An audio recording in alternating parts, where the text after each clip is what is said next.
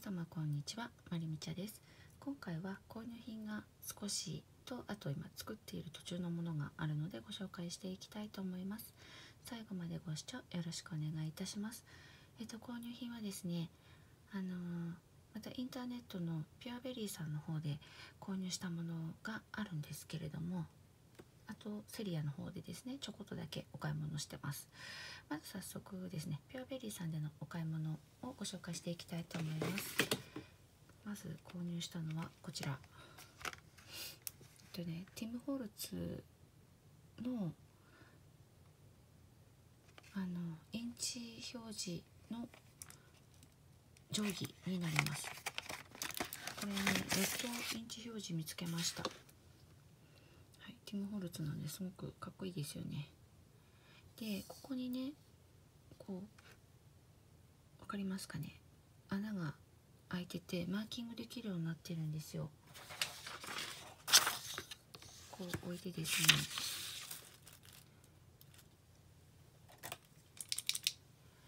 例えばこう1インチのところでマーキングでこうちょぼっと見えますかねついてるの。こんな感じでねマーキングできるようになってます。すごく便利だなと思ってこちら購入してみました。はい。このが見やすいかな。嬉しいですね。あのスコアリングボードもインチ表示の方で切ってった方があの切りやすいかなと思ってちょっとインチ表示に作るもの変えていこうかなと思ってるんですけれども1インチが約2.5センチなんですよね。この下のカッティングでいくと。1インチが2.5ちょいぐらいなんですよね。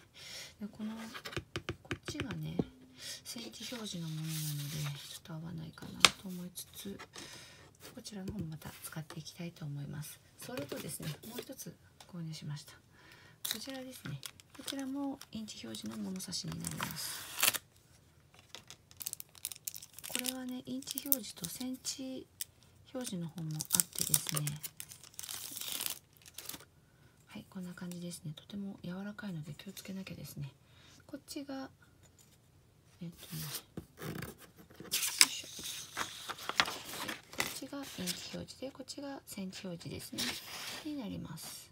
こんな感じですねでこれを何で買ったかっていうとこうペーパーをね。ここでこう押さえて端から何センチっていうのがちゃんと直角を取って測れるので使いやすいかなと思って購入しました。今までこのメモリを使ってねこうしてたんですけれどもこれだったらそれしなくてもこうできるのでいいかなと思って購入しました。どっちも活用してみたいなと思います。はい。それとですねえっとピュアベリーさんで買う購入したのはこちらですね。ディストレスインクのミニのセットになります。この4つセットですね。で私あんまりこのディストレスインクは詳しくなくってどんな色なのかがいまいちわからなかったんですけどもとりあえずこうちっちゃいのセットで購入してみようと思って購入したんですがどのくらいちっちゃいかと言いますとですねここに私がいつも使っているステーゾーンあるんですけども並べてみるとこんな感じですねの小ささになります。はい、これでちょっと試してみてよお下げだったら大きいの買おうかなと思うんですけれども、はい、で色の方ですね。ちょっと試し押しをしたいなと思いまして。今この白い紙を出したままにしてあるんですけども。ちょっと待ってくださいね。よいしょ。ダイソーの開けておけばよかった。ダイソーで購入したこちら羽のやつね。ちっちゃいの。これで試してみようかなと思います。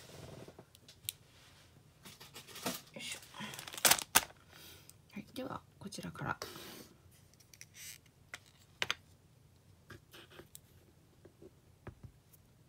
ついてんのかな。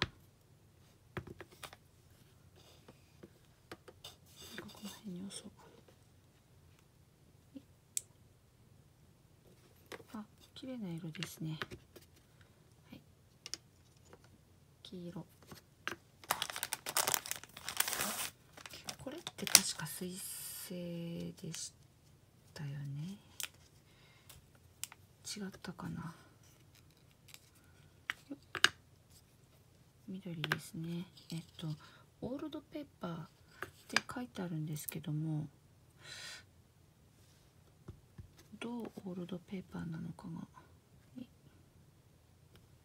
ああちょっと後でアップにしますね。とりあえず今押していっちゃいます。これは。うん？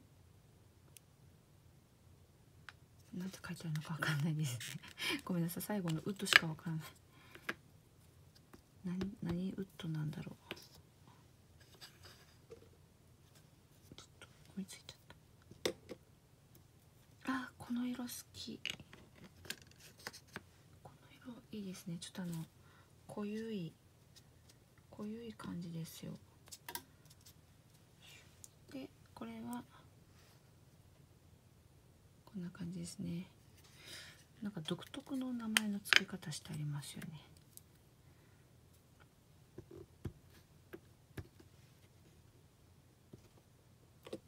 あこのピンク色ピンク色なのかな。可愛い色ですね。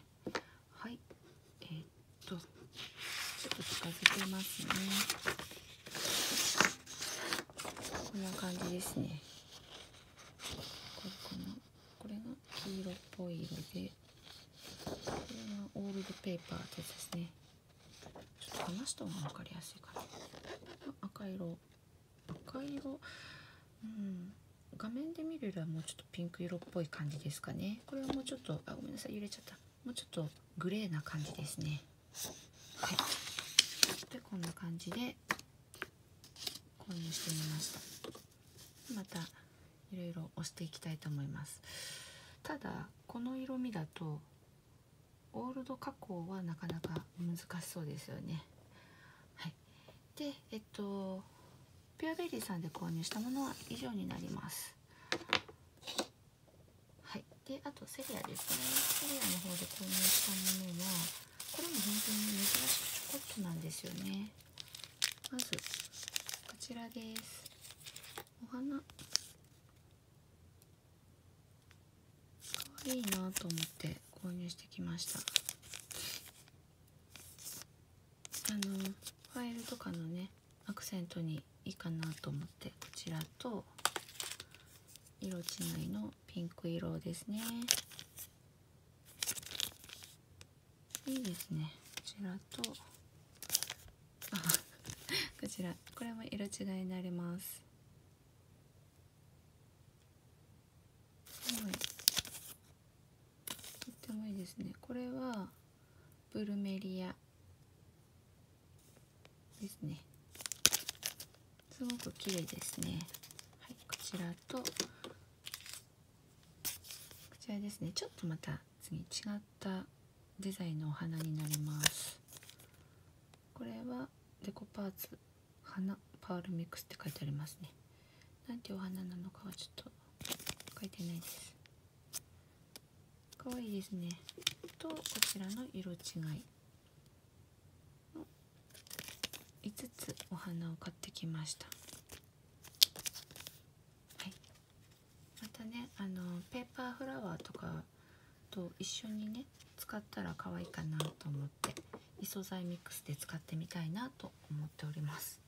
はい購入品は以上になります。でえっとね今作っているものなんですけどもちょっとここに避けて今ねあのまたあのバインダー手帳を作ってます。これは職場のあのお友達に作ってって頼まれて作ってるんですけどもこちらです。